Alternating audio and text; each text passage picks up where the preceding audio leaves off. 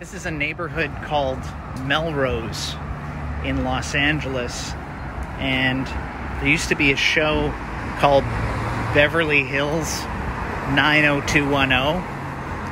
And then they did a follow up show called Melrose Place, which was named after this area of Los Angeles called Melrose.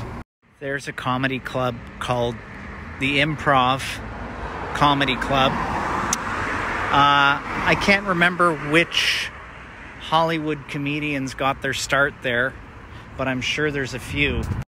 This is just one of the many uh, luxury clothing stores in Melrose. This is called Paul Smith, and the whole building is painted pink. In fact, this is called the Pink Wall.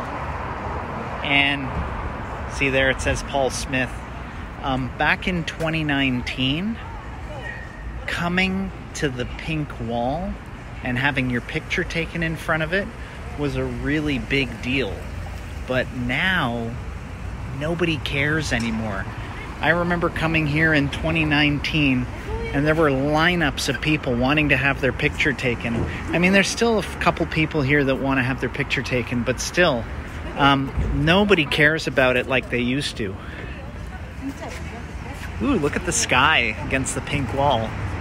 See, that's nice.